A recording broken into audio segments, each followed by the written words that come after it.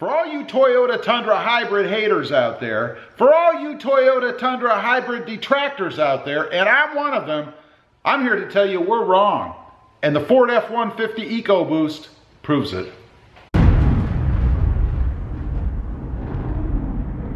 Well, good afternoon, everybody. How y'all doing? Pretty good here, and welcome to the channel.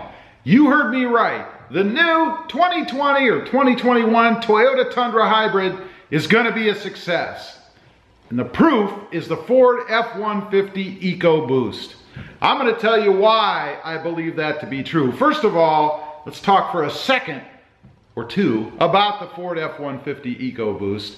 It was introduced in 2011 as a V6 3.5 liter twin turbo engine. A new thing for Ford. They took a leap. They took a leap because they had to.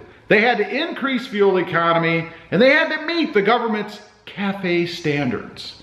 Now, what they were trying to do, they weren't looking to replace the V8 necessarily. They were just looking to put another product out there to satisfy what they had to satisfy. So what they came up with, the EcoBoost, had 365 horsepower, 420 pound-feet of torque, and it got or gets 16 miles per gallon in the city and 22 miles per gallon on the highway. That was in 2011 when they introduced it. I believe those fuel efficiency numbers are a little bit better now. Now, just as a comparison, back in 2011, the Tundra had 300 has 381 horsepower and 401 pound-feet of torque, and it got 14 miles per gallon city and 18 on the highway. Now, it hasn't changed. It's still the same. So Toyota is faced with the same dilemma, right? They have to meet these standards. They have to compete. I mean, let's face it. Toyota can't sit back and rest on their laurels, right? Eventually, these other manufacturers are going to be so far ahead in fuel economy and in power and torque that Toyota's going to be left in the dust. They have to act. Now, this rumored Tundra that's supposed to be coming out. And keep in mind, these are rumors all over the place. They're saying it's going to be a twin turbo hybrid, potentially having electric motors. I don't know. They say that it's going to come out somewhere late 2020, 2021, something like that. And it's going to have 450 horsepower. Awesome. 500 pound-feet of torque. What? And miles per gallon of 30 plus. That'll be a game changer. They'll be looking back at Ford and Chevy and everybody else at that point. Be interesting to see what those guys do to try to compete. Now, again, it's not saying that Toyota is going to completely get rid of their iForce V8. But what's happened with Ford, in May of this year, Ford announced that they were scaling back production on their Coyote V8, you know, their regular giant V8 motor, because of lack of demand. Demand is dwindling. People want the EcoBoost. All those haters and detractors, and you know there were many, right? Ford's number one. They were number one. You can imagine the uproar when Ford came out with uh, this EcoBoost six-cylinder twin turbo in their truck.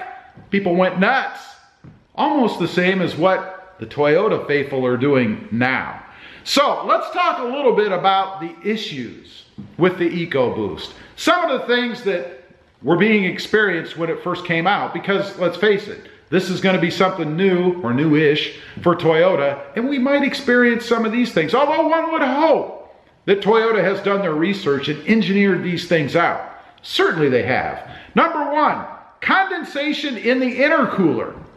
Some trucks may have exhibited a stumble or misfire in hard acceleration. Two, a buck or jerk at steady cruising speeds with the transmission in sixth gear.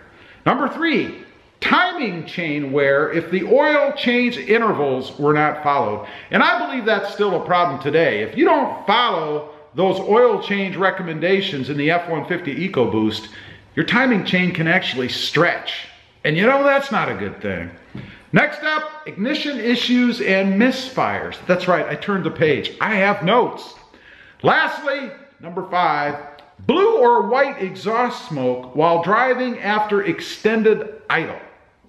All little things that were experienced back in 2011 when this EcoBoost motor first came out. Now, there were some consumer complaints as well. Now, there were 10 of those, or at least the top 10 that I'm going to give you guys, things that the actual customers experienced. And you know this happens, right? I mean, they can do all their testing and, and all that good stuff, but until these trucks get out there in the real world and real people drive them, you never know. Number one, engine almost stalls when accelerating. I'd say that was probably a lag. Number two, engine grind at startup. That's got to be disheartening, especially with a brand new motor, right? Number three, engine stalls or dies while driving. Well, that kind of defeats the whole purpose. I mean, if you can walk faster than your truck will go, you don't need the truck.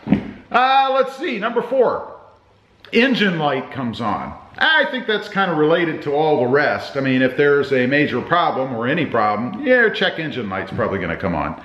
Engine runs rough, number six. Uh, probably an idle issue. Uh, number seven, engine misfire. Not a good thing. Number eight, heavy vibration when decelerating. Now, I have experienced that or had experienced it in some of the trucks that I've had in the past. Not necessarily F, the F-150, but that's where you're driving along, you go to hit the brakes and you get this shuddery, weird feeling. Uh, number nine, hydro locking. This I've got to think is probably due to off-roading, right? You know, you get some over overexcited people out there who decide they're going to go through some water that's maybe too deep because it's off-road, right? And you get a little water sucked into the motor. Probably not Ford's fault. Lastly, fuel injector leak. Last thing you want to happen is to have your fuel injectors leak. That could cause a fire, I think. Who knows? So, will a new hybrid Tundra succeed using the F-150 EcoBoost as a benchmark or as a comparison? Well, I think absolutely yes. And I'll point again to Ford's announcement in May that they're reducing production on their V8 motors due to lack of demand. People want the EcoBoost. And also, um, Ford in 2016, just five years after the first EcoBoost came out, they surpassed the 1 million truck sold mark. Obviously, people wanted them. I mean, people still could have bought the V8, right? I mean, it was more money, but people opted for the EcoBoost. They didn't go for the V8. So, bottom line here, is it going to succeed? Well, I think absolutely. I think in the beginning, like right now, you've got all the purists out there complaining and crying because Toyota's going to put a V6 twin turbo, potentially hybrid, you know, with electric motors in the truck, and they just don't want to see that. They're fearful for some reason and I was one of them. Don't get me wrong. I'm with you guys. Fearful that the truck is not going to be all it could be, right?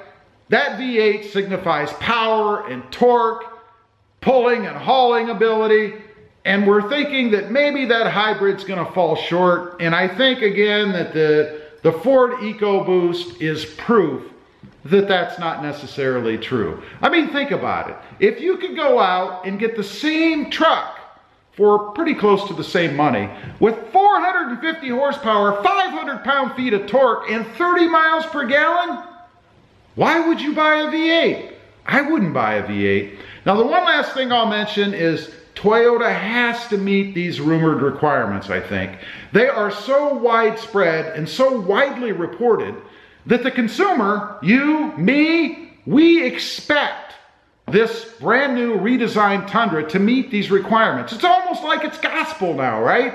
It's out there, we keep hearing it, it must be true. And if Toyota puts out a truck that falls short of these specs, if they don't hit that 450 horsepower and that 500 pound-feet of torque, we're gonna see that as a failure. It's gonna be a big black mark on Toyota. They couldn't do it. They said they were gonna do it, even though they may never have said they were going to do it. But since the rumors are so pervasive out there, we just assume that they did say they were going to do it. Anyway, leave a comment down below. Let me know what you think.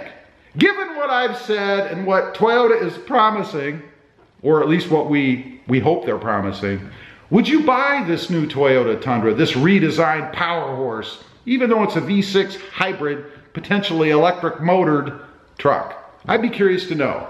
As usual, appreciate you guys watching. Don't forget to like, share, and subscribe. And we'll see you next time on the web. Have a great day. Bye.